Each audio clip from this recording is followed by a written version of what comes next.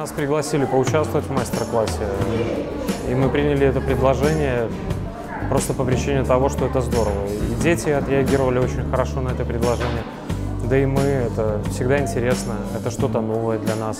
И я считаю, что это полезно в любом случае, даже для, несмотря на то, что основной, основной род деятельности нашего центра подготовки – это занятие футболом.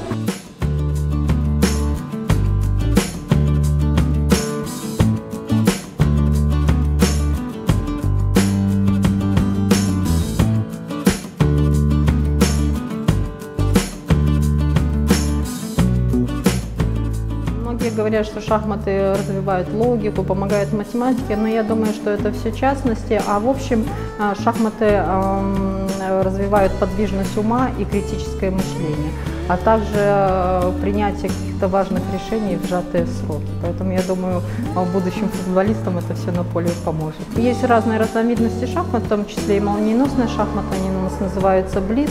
Это когда за очень э, короткое время нужно успеть сыграть партию, и не просто сыграть, а стараться ее выиграть, то есть принять э, максимальное количество бы- быстрых решений в очень короткое время. Я думаю, что для футболистов это очень важное качество.